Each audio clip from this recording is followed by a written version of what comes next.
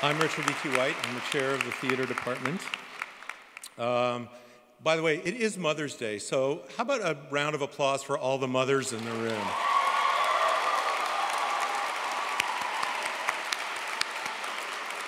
And the ones who couldn't make it here.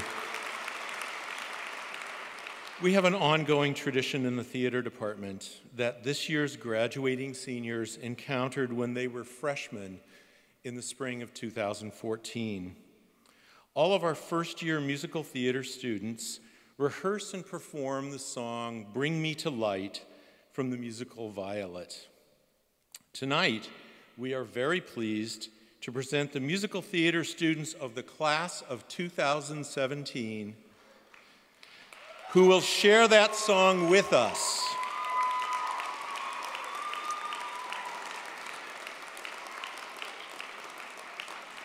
This performance is directed by Francis Leah Brown King and, is it, and it is accompanied by Catherine Strohmeyer.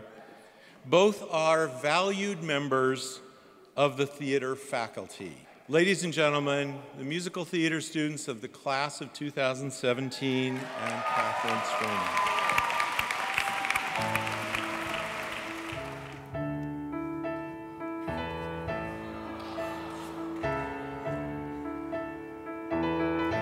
If I asked you to be with me by and by, will you meet me tonight, love?